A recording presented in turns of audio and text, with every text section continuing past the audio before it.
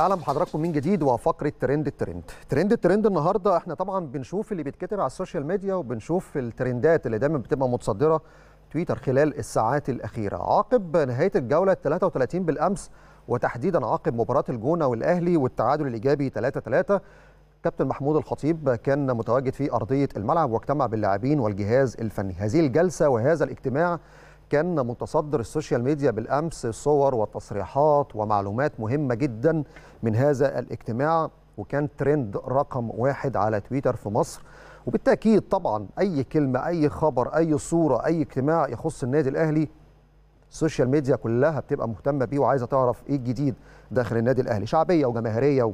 واسم كبير في القارة الإفريقية طيب أهم كلمتين امبارح أو أهم نقطتين رصدناهم والجمهور حتى علق عليه علق على الاجتماع. كابتن محمود الخطيب قال للاعبي النادي الأهلي الأهلي فخور بلاعبيه وجمهور النادي الأهلي فاهم وعارف وواعي كويس جدا للي كل حصل خلال الفترة الأخيرة. وفي نفس الوقت كمان الأهلي ما بيسيبش حقه. الجلسه دي فيها تفاصيل كتير. تعالوا نسمع أبرز ما جاء في هذا الاجتماع ثم نتواصل مع بعض وعندنا تعليقات مهمة جدا عقب هذا الاجتماع. الموسم ده موسم صعب جدا. الموسم ده موسم صعب جدا. يمكن إحداثه ومواعيده اللي إحنا فيه ده ما اتكررتش في أي حتة في العالم يعني. عشان كده أنا شايف إن أنتوا كلكم تعرضتوا لإجهاد مش بس إجهاد مش بس أنا صوتي مش عارف اعليه قرب شوية عشان مش عارف اعلي صوتي مش بس مش بس إجهاد بدني. إجهاد بدني وذهني. الموسم ده أكتر موسم في يعني من من بدايه من تأخير الموسم اللي فات أكتر موسم في العالم في بطولات. كم البطولات اللي أنتم مريتوا بيها دي؟ خلتكم يعني عندكم نوع من أنواع الإجهاد لكم الذهني قبل البدني كمان. وإحنا الحقيقة مقدرين ده جدا. إحنا كإدارة مقدرين ده جدا. وأنا متأكد إن جمهوركم كمان مقدر ده جدا. جمهور النادي الأهلي فاهم وشايف وعارف. جمهور النادي الأهلي فاهم واعي وشايف وعارف اللي بيحصل. عشان كده أنا متأكد إن هو في ظهركم. أنتوا سبب سعادة الناس الفترة اللي فاتت. بس ده حق الجمهور عليكم. اللي حصل المرة اللي فاتت ولا السنة دي كده أنتوا سبب الناس بقت سعيدة وفخورة بيكوا وبالنادي الأهلي.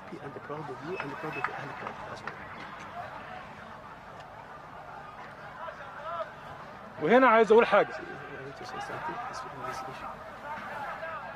النادي الاهلي لما بيفقد بطوله النادي الاهلي بينطلق منها النادي الاهلي بطولات جاية كتير وعندنا بطولات كتير لازم تبقوا فاهمين ده ولازم تفرحوا جمهوركم اللي هو شايفكم اللي هو معاكم اللي هو في ظهركم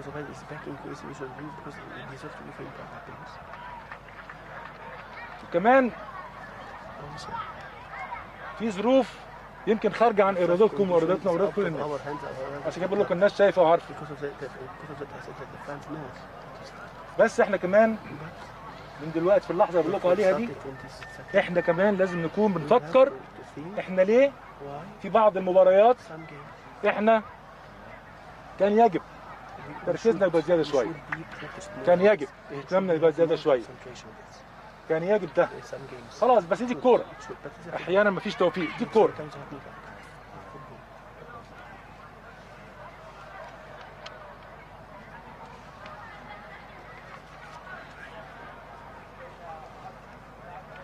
أنا يمكن برضو عايز أكرر شكر تاني. ليكم وعايز أقول ان أنتوا كلكم محل ثقة بالنسبة لنا كبيرة جدا.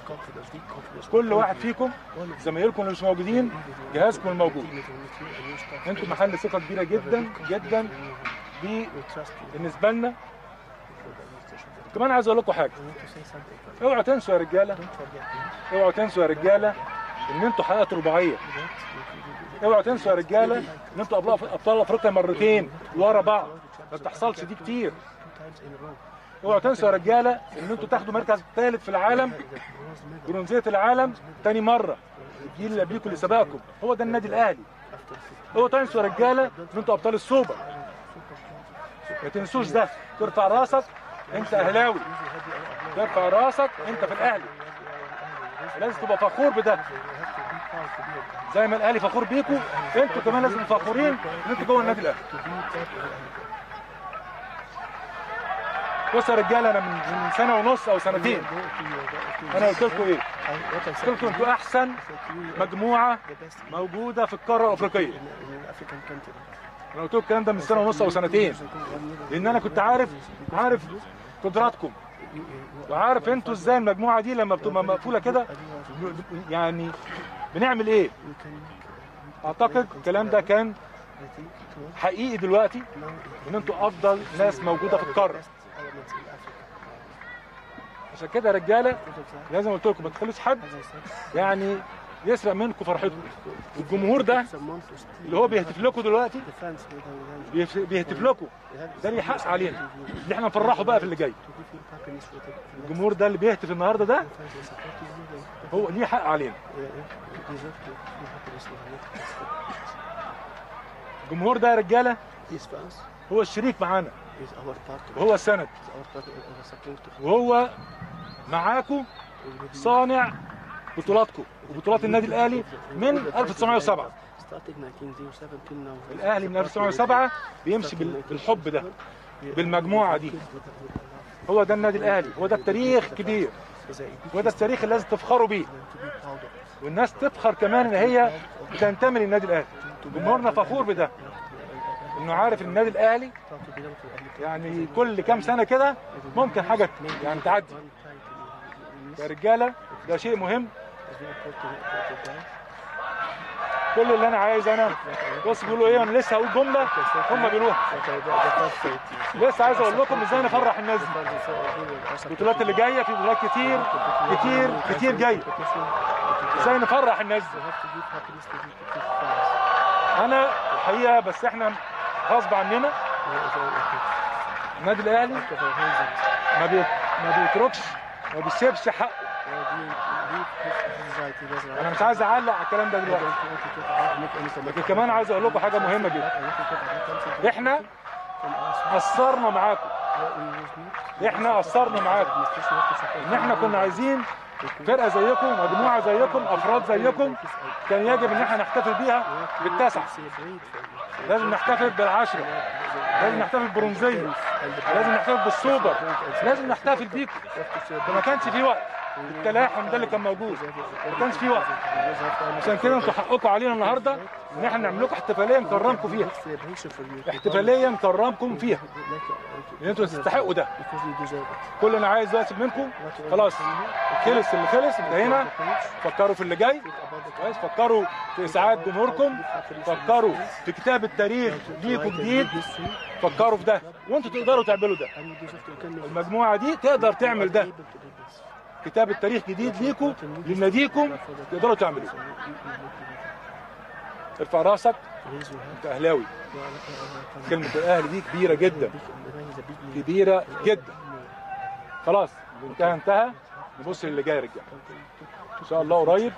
هنعمل حفله تكريم لحضرتك بس نشوف المواعيد عشان نقدر نظبط ميعاد تكون كلكم موجودين بتوع المنتخب أو الانتخابات اللي معانا المحترفين نقدر إن إحنا نظبط بس الميعاد وفي ميعاد مناسب إن شاء الله.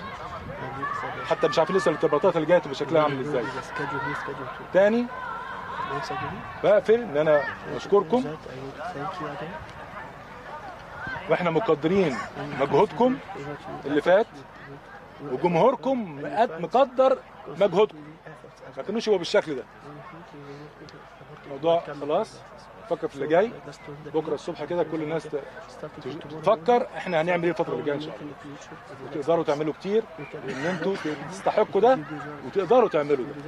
وانتوا جوه النادي الأهلي. ماشي يا رجالة. عايزين نقف مع بعض كلنا ونقرأ الفاتحة ونوعد من هنا من المكان اللي إحنا فيه دلوقتي ده اللي جاي هيبقى عامل إزاي. نوعد جمهورنا بيه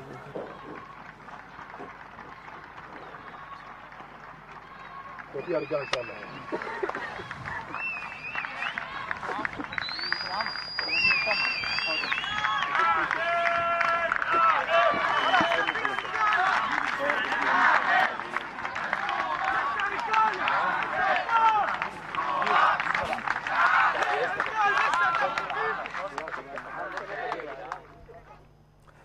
ده كان كلام مهم جدا من الكابتن محمود الخطيب في الجلسة اللي جمعته امبارح بأعضاء الجهاز الفني واللاعبين عقب نهاية المباراة.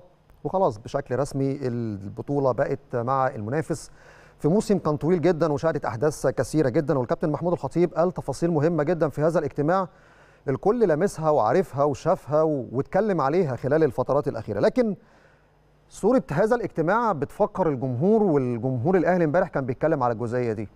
صورة هذا الاجتماع بتفكر الناس بلحظه اجتماع اللاعبين في استاد برج العرب بالإسكندرية عقب مباراة سان داونز في موسم 2019 بعد الخروج من دور الثمانيه في دوري أبطال إفريقيا. من هذه اللقطة ومن وقت ده الأهلي على طول لعب دوري أبطال إفريقيا في سنتين متتاليتين فاز بالبطولتين وفاز بالسوبر الإفريقي وعنده سوبر إفريقي خلال الشهر القادم بإذن الله. فبالتالي لما الأهلي بيخسر بطولة ما تعرفش اللي جاي بعد كده هيبقى عامل إزاي لأن الأهلي لما بيخسر بطولة مش متعود على ده. فاللي جاي بالنسبة لأي منافس توقع أي شيء توقع أي شيء. هيلعب على الدوري اللي جاي وعينه في وسط راسه. هيلعب على بطولة الكاس اللي جاية وهيطبق اللوائح بحذافيرها في مسابقة كاس مصر. عنده سوبر مصري مع طلائع الجيش لسه هنشوف ميعاده إمتى لما الاتحاد يفكر يحدد ميعاد لبطولة سوبر الفترة اللي جاية. عنده فقاعة طبية والسفر للدوحة عشان السوبر الإفريقي اللي هيتلعب في ميعاده ومفيش مساحة لأي تأجيل لهذه البطولة الفترة الجاية. وأنا عارف بقول إيه بالظبط في بطولة السوبر الإفريقي.